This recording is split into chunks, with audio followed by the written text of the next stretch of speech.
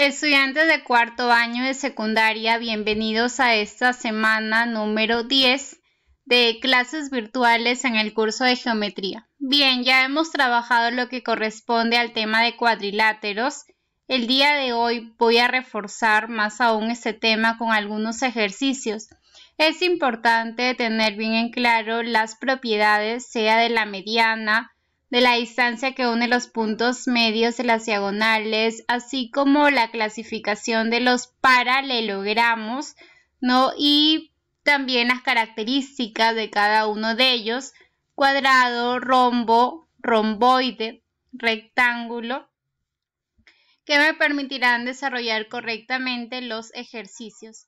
Muy bien, empecemos con el primero, se tiene un cuadrilátero ABCD en el cual el ángulo ABC es 150, el ángulo BCD 120, BC es igual a 10 y CD 12 hallar AD.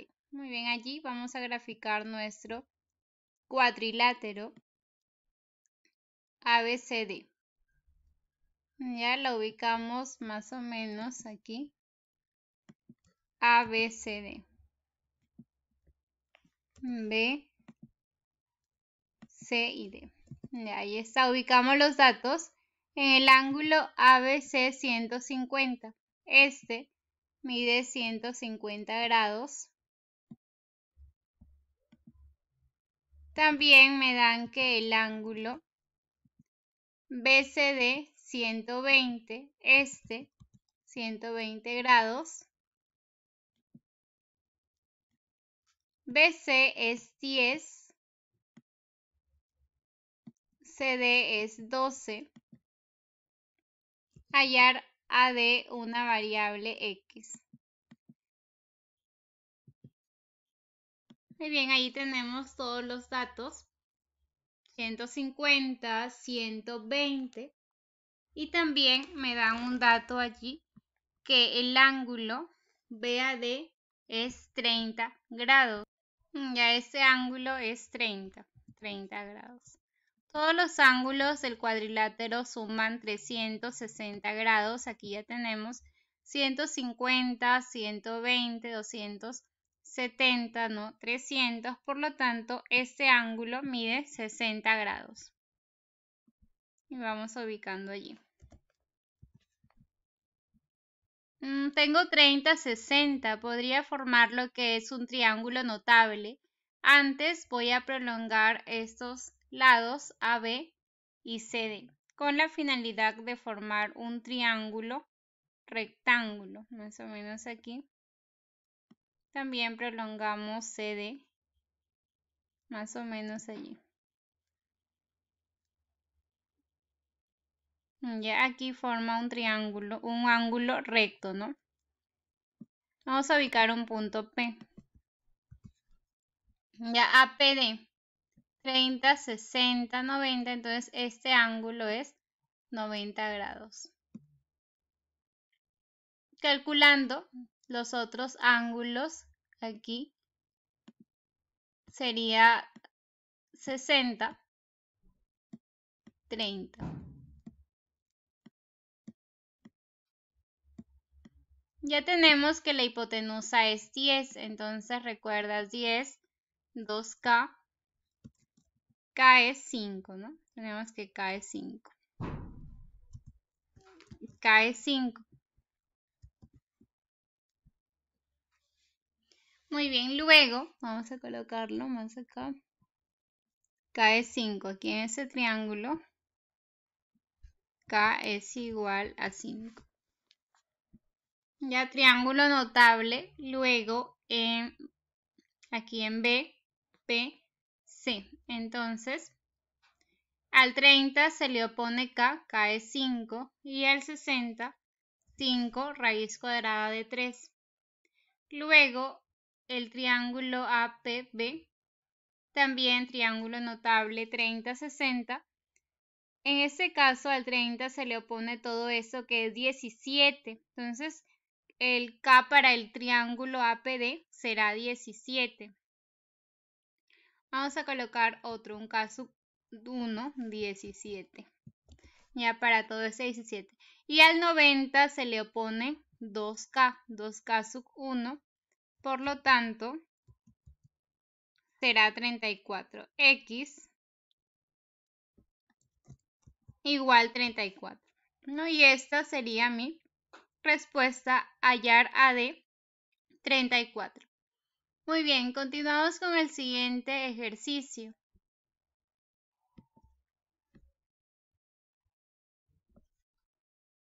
En el cuadrilátero ABCD, la medida del ángulo DAB es igual a BCD, que es 90. BC igual CD hallar AC sabiendo que la distancia de C a AD es 2. Muy bien, vamos a graficar primero nuestro cuadrilátero ABCD. Más o menos de esta manera lo ubicamos aquí. ABCD. A, aquí, ABC. Y trazamos acá D.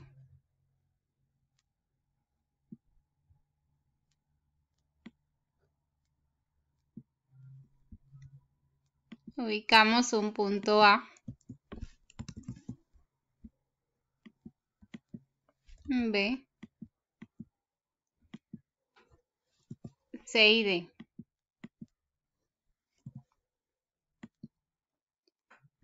Me dicen que el ángulo DAB es 90.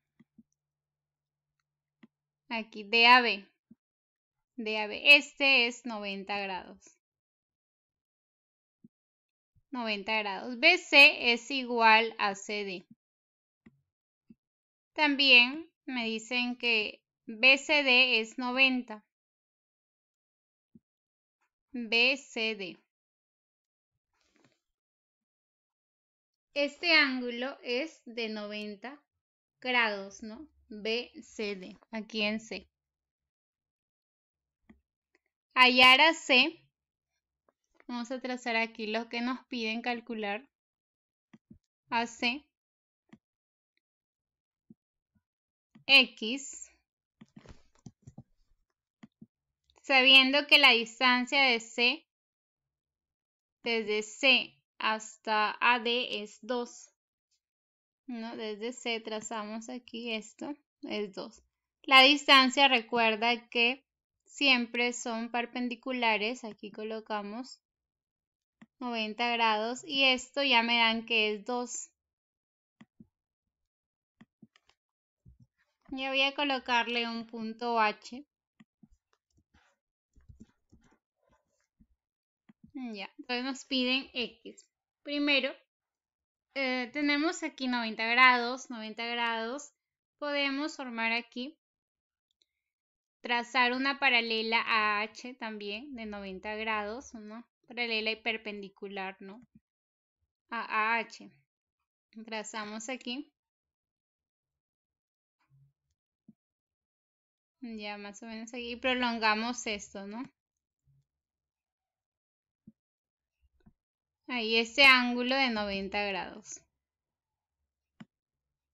Ya, ahí está. Voy a colocarle un punto Q.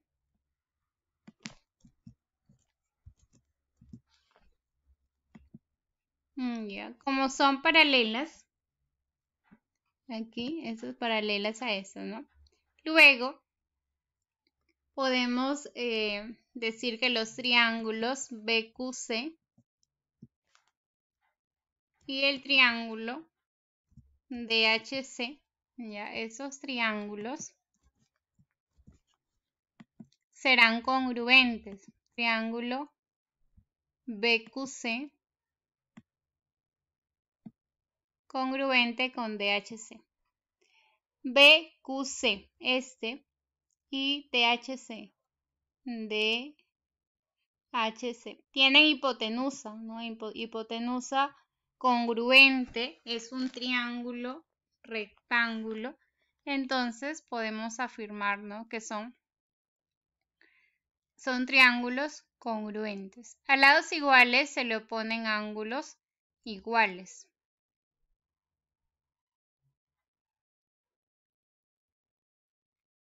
Sería que a este lado, a este lado vamos a colocar variables alfa y beta.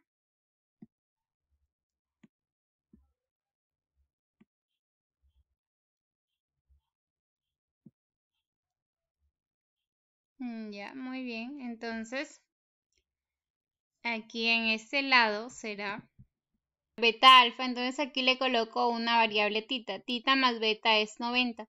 Recuerda que aquí también es un ángulo de 90 grados ya que se trazó una recta paralela y formando ángulos de 90. Tita más beta 90. Ya tengo aquí tita, entonces el otro ángulo será beta.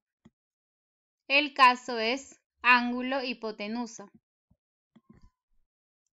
ángulo hipotenusa.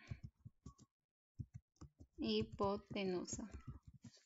A lados iguales, ángulos iguales. A alfa se le opone 12 en este caso. Bueno, aquí sería alfa. Ya, entonces a alfa acá también se le va a oponer 2. Ya colocamos aquí 2. A Q, CH ¿ya? Esto es un cuadrado, podemos identificar, ¿no? Aquí 2 y 2, como son de 90 grados, lados congruentes cuadrado y su diagonal, ¿no? Su diagonal será, mira, K, K y K raíz de 2, X es 2 raíz de 2, ¿no? X es igual a 2 raíz de 2 y esta sería mi respuesta. 2 raíz de 2. Muy bien, continuamos con el siguiente ejercicio. Número 3. En el cuadrilátero ABCD, ubicamos aquí ABCD. A ver, A, B por aquí, C y D. Mm, ya más o menos allí.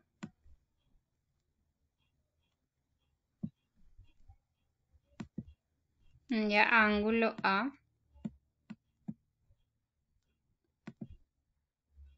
B, C y D. B, C y D. El ángulo ADB es 90, ¿no? Este ángulo de acá, ADB, a, D, B es 90. Entonces trazamos aquí. Bueno, eso sería más un punto más acá. Mm, ya aquí.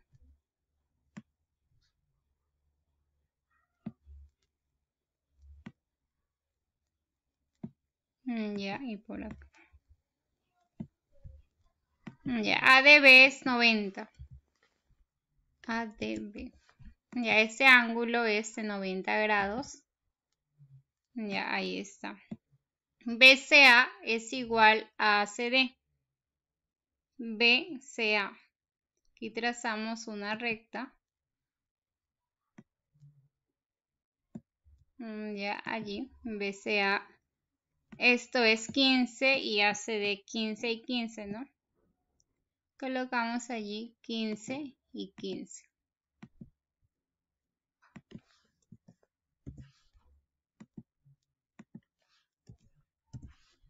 CAD es 30, ya este ángulo es 30 grados, y me piden BAC, ese ángulo X. Muy bien, entonces aquí vamos a colocar, vamos a trazar eh, DE, una recta, DE que sea perpendicular a AC. Trazar aquí una recta perpendicular. Ya más o menos por aquí. Prolongamos esto. DE. Trazamos ahí DE.